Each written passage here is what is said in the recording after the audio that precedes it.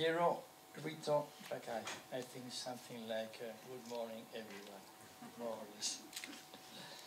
Uh, dear authorities and colleagues and friends, first of all I would like to thank all those who has been uh, do able this uh, event, no? especially to my good friend Vaidas that has made possible this magnificent event and with it the opportunity they have given to us to be here with you and explain the international this fantastic international conference, the model for the future, which I have to say it's a lovely name. Uh, because I don't know if the modern is future or the future is in the modern, but in any case I think it's quite exciting. And thereby, and, and therefore uh, the opportunity to me to speak and to explain what is the meaning of the Madrid document. Uh,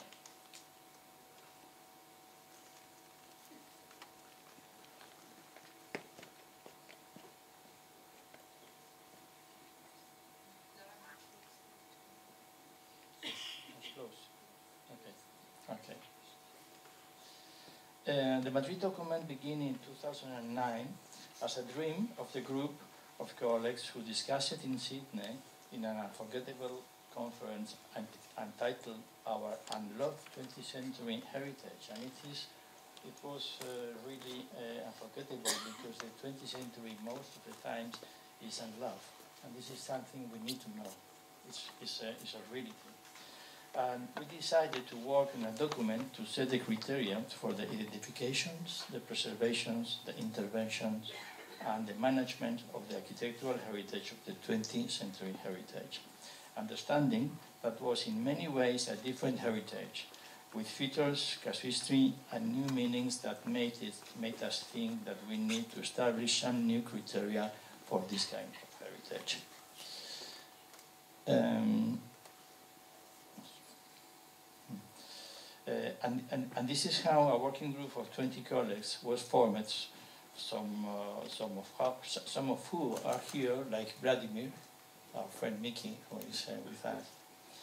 And two years later, in Madrid, in June of 2011, presented the International Assembly of more 300 people, experts, a draft to discuss and to approval as the Madrid document. Well, after three days of discussion, the Madrid document was finally uh, approved with the support of the Spanish authorities. And later on, the Madrid document has been presented to the General Assembly of the ICOMOS in Paris in 2011 and, and, and afterwards in Florence in 2014. And in both assemblies, being the suggested of a, of a resolution which recommended its dissemination and continue the process uh, of its acceptance as a doctrinal text of the ICOMOS. Now, nine years, uh, nine years later, the reality is that the Madrid document has been translated into 12 languages, English, Spanish, and French, Russian, German, Italian, Portuguese, Finnish, Hindi, Chinese, Basque, and Catalan. And now they are working on the Japanese, Swedish, Arab, and Greek. So by this, I think we need these three languages of the Baltic countries. So this is your turn. Um, in, in this document, they apply they apply for the recommendation in many cities, in many cities, uh, protecting the heritage, and it is in use in great cities as New York or Sydney or Shanghai, but not in Madrid. This is things that happen, but uh, probably sometimes in the place where the document uh, begins is the place where nobody nobody uses it. Um, but the Madrid document has, uh, for us, has three important questions. Yesterday, a colleague will tell us how in any conference he begins with, with, an introduction with three questions and with the conclusion. In, in, the, in, in this occasion, I, am, I have also three questions. Uh, which, why, and how? Uh, which is the heritage of the 20th century that we must protect.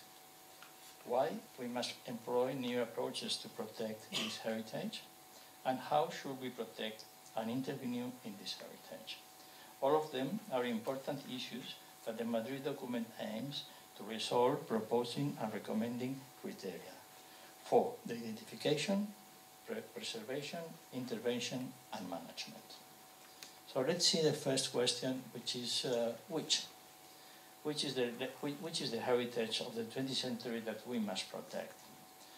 The 20th century has left us a youngest heritage of history, undervalued and very unknown, in which just a few well-known architectural examples have been recognized, while the rest of the heritage is not considered as an important to preserve. Being especially vulnerable, therefore, is urgent need to recover their cultural significance. These are some uh, slides, uh, images from Madrid uh, heritage of the beginning of the century, but of course we can find it in any, in any city of all of us. Um, you will see the examples of Madrid, but perhaps we could also put the same examples in Kaunas. No? Um, the 20th century have this as a youngest heritage. No, sorry, the protection of can only be conceived as uh, for a global perspective without forgetting those architecturals that even being simple make up the urban landscape of the city, as says the first article of the Venice Charter of 1964, that says that the most work, the modest work of over time had, that have acquired cultural significance are also historical monuments. And we, had, we don't have to forget also the convention that Mr. Turner has uh, before spoken about, the convention that proposed the Convention of the World Heritage, where it's defined clearly the different considerations of cultural heritage, and from which I would like to highlight that the cultural heritage are the groups of buildings, separated or not, whose architectural and integration unit in the landscape gives them the outstanding universal value from the point of view of history, art, and science.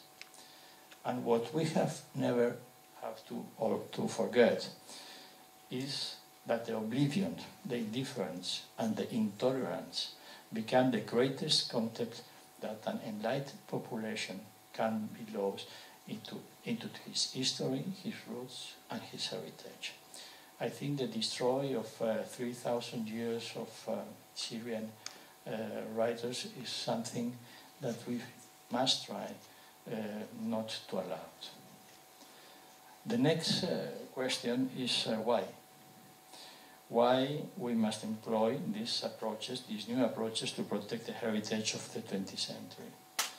And uh, I have to say that after studying the good examples that we can see just walking through any of the cities, and of course uh, in these Kaunas, I am sure that the most of them we can feel how they, they have followed the same process. Firstly, fixing the approaches and process necessary in any intervention. Secondly, defining the change of use as a way to recover its architectural and cultural significance. And thirdly, highlighting the role to play with the uh, authorities of every country as main guarantors of its history. All of them not only have recovered the value of the monument, but also have created, have re recovered the value of the monument, also have created an economical, social, and cultural wealth in its surrounding environs, which guarantees that investing in heritage, and I think this is important, has an environment, environment which guarantees that investing in heritage has an attractive economic benefits and at the same time becomes an important contribution to the social cultural development of any city. Um, you can see here what we have tried to don't get allowed. The, the monuments in risk uh, in Madrid, you can see this example of a fantastic concrete building that has been demolished, or is going to be demolished. But you have this other building uh, from the beginning of the century. It's a it's an insurance company uh, that they have decided to demolish the interior of the building, just keeping the facade as uh, if in a theater uh, or something like that, no? where the interior and the exterior has nothing to be in between them. No? Another example is the theater in uh, the Beaux-Arts in in San Sebastian, which is a, a, a Nouveau building, very well known and is also going to be demolished. No? So, uh, what ICOMOS uh, needs to be sure is that the rights of uh, the right of protecting heritage that is going to become a human right, we have to defend it. And the right to have the authenticity testimony of cultural heritage is respect as an expression of cultural identity with humanity. This is one of the rights that ICOMOS believes on. Another one is that the right to a better understanding of our heritage and that of others' heritages.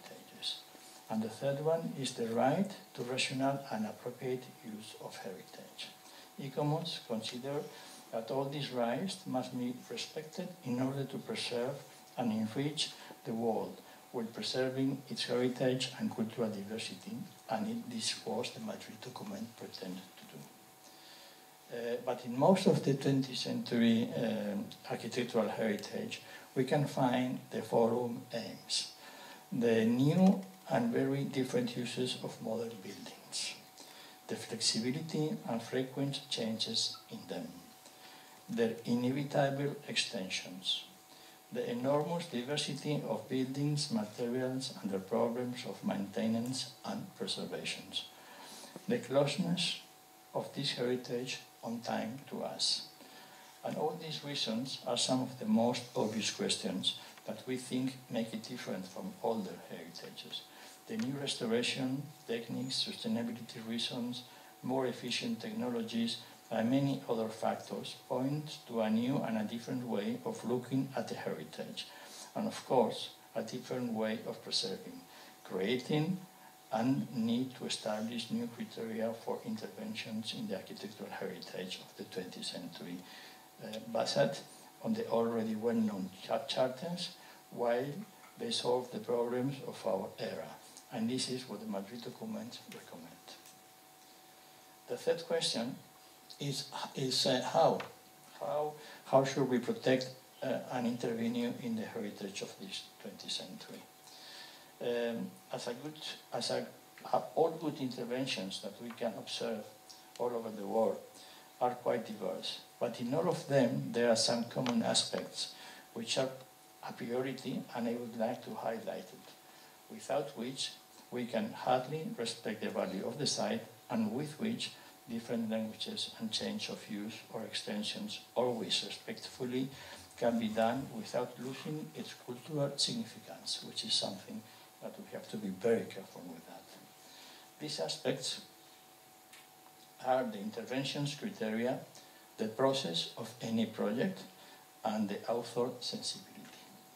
Talking about the criteria, the, the substitutions of materials adapting to the new function, respect to the form, the new languages, etc., are just a few of the questions with special controversy. All of them apply in any interventions, and this demand the urgent need to establish agreed criteria. And it is here where the Madrid document is again justified an important international contribution to the proportion of heritage that establish the approaches for identification, conservation, intervention, and management of the 20th century architectural heritage. The next, uh, the next step is the process that everyone needs to, to, to have when you're working in heritage. The most appropriate proposals with adding the new modern technologies and sustainability languages also add value to the monument without losing its cultural significance. The survival of the, the monument must also make it compatible with innovation and with, with the new use. The alternative to this is the degradation. And the third one is the most difficult for me, which is the sensibility any uh, architect who is going to work in heritage needs to have. And uh, if they don't have this sensibility, in my opinion, they cannot work in heritage. And someone has to say that. And I suppose the people who has to say that is the administration that are going to approve or not the proposal that someone is going to do. But they have to have very clear the difference in between a good, a good proposal and a bad proposal. And if this proposal doesn't have the criteria, it has followed a good process, and it has not enough sensibility, it cannot be approved. And this has to be clear. Uh, Goya, the painter, Spanish painter, used to say something I think is really it's a nice phrase, no? Like the time paints. So you have to be very careful when you are acting in heritage and, for example, you clean a concrete. Be careful what you are going to clean, because perhaps you are cleaning the painting of the artist. For me, the Tate Gallery, the Tate Modern Gallery in London, uh, work of Herzog and de Meuron, should be or can be probably the best example where we can see how the criteria has been well implied in a good process and with an extraordinary sensibility, where the new and the old parts of the site can coexist, coexist as a good example. Uh, if you think of the color, of the material, of the geometry, of the proportion in between the extension of the monument and the monument, and how both can, can, can, can live uh, can live in the same in the same site, I think is really a fantastic example that we should uh, we should look very often to see, which is what we have to do when we work in heritage. So now talking about the Madrid document that I am not going to read, but I am just going to read the aim of the document. It's a short document, it has nine articles. I'm going to read just the title of the articles and, uh, and I hope you will be able to, to, to read it in your own, in the web page and, or in other many places. No?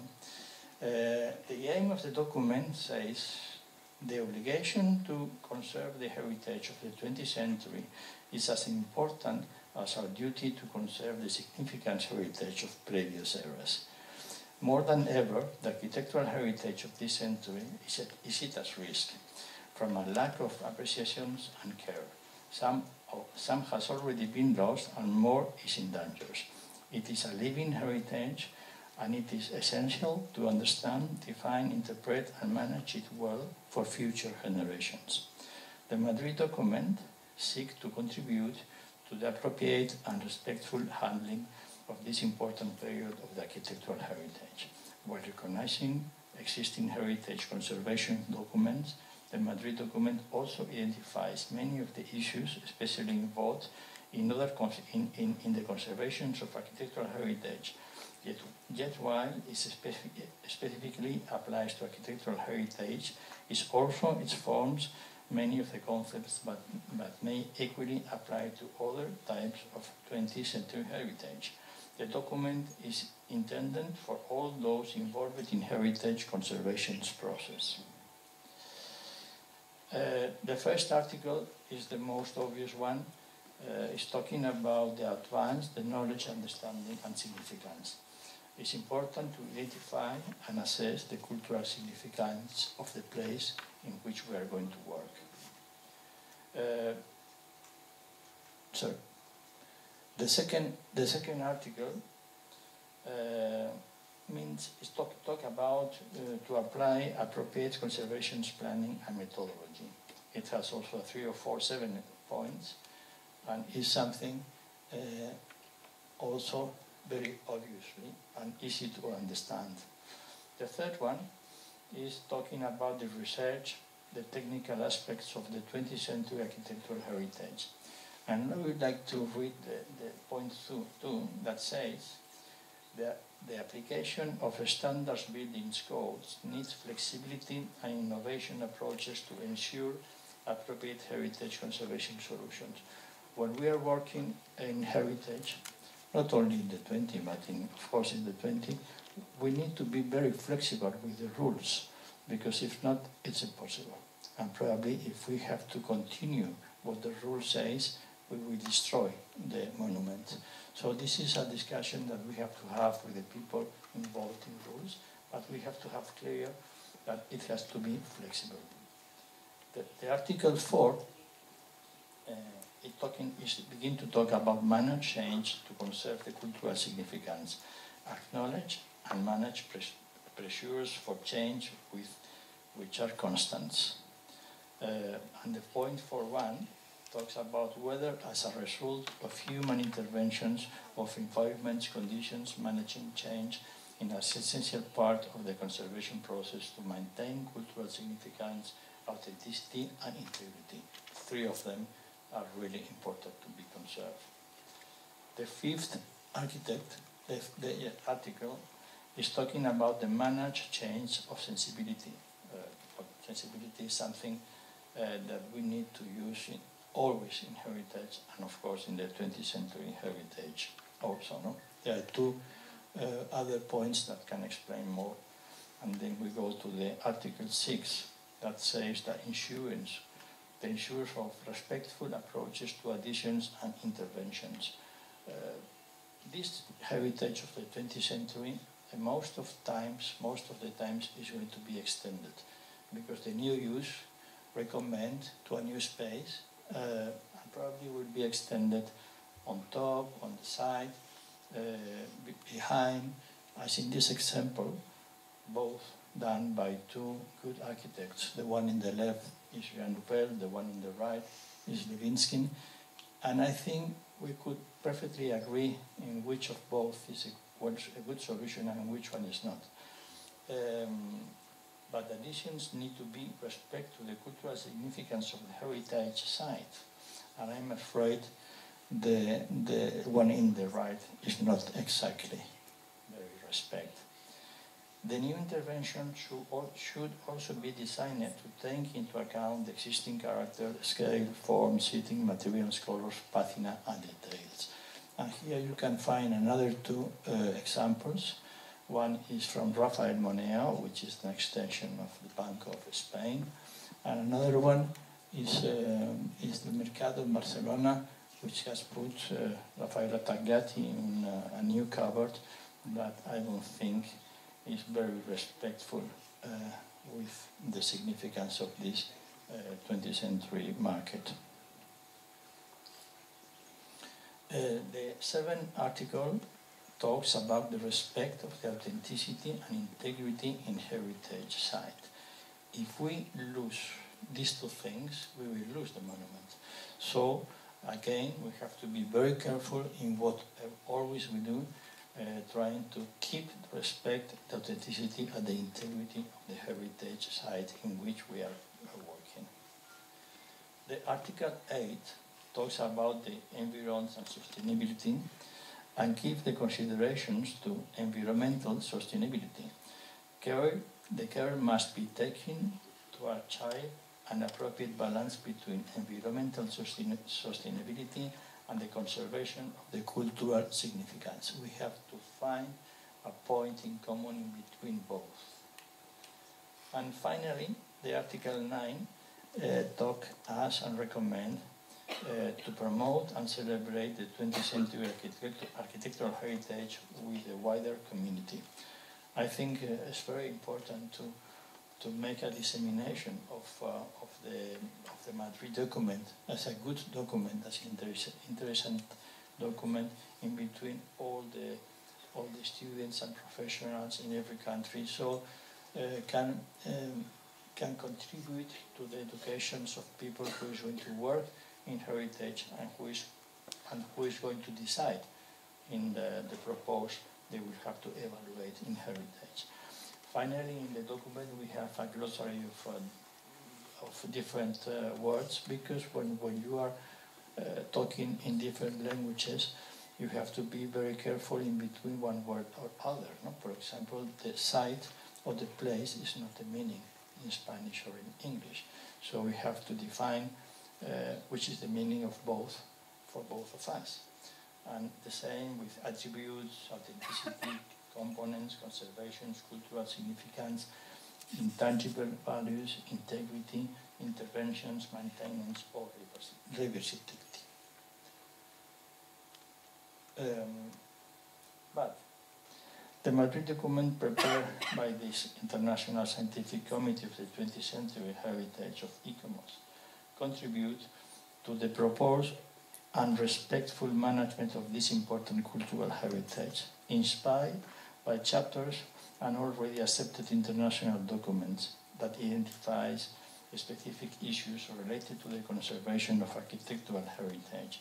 In all its manifestations is a documented addressed to all those involved in the different process of the heritage conservation, although primary architects, government authorities, and of course all the students that probably are here in this in this uh, room and that needs to uh, be educated in the in the principles of the preservation of heritage and especially of the 20 heritage because it's the more close to us and the more uh, probably the more uh, the, the, the one is more in risk.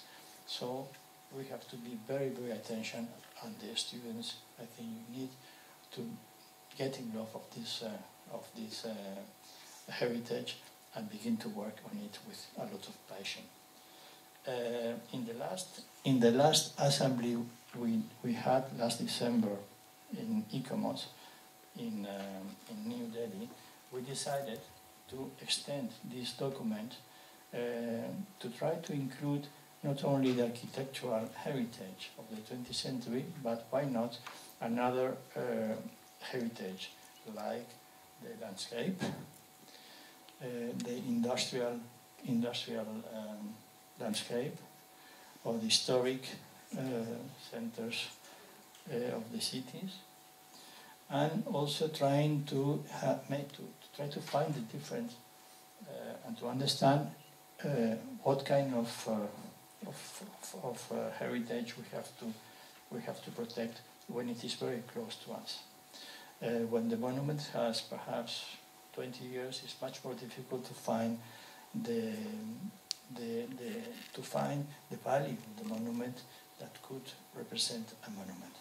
So we have to be very, very uh, careful with that. And just to final, I would like to finish making clear that the need, the need to establish the necessary canals that allow a deep debate between the public administration and society that guarantees our cultural heritage protections and the preservation with the necessary open mind, saving both the work and the historical records, and says, and say, says the Article 3 of the Venice Charter. But without a doubt, in the end, it is us, the professionals, who have to act and therefore I would like to remember how to intervene in our heritage. It's necessary to have a clear criterion, to follow a process, and to do it with the necessary sensitivity. Thank you very much.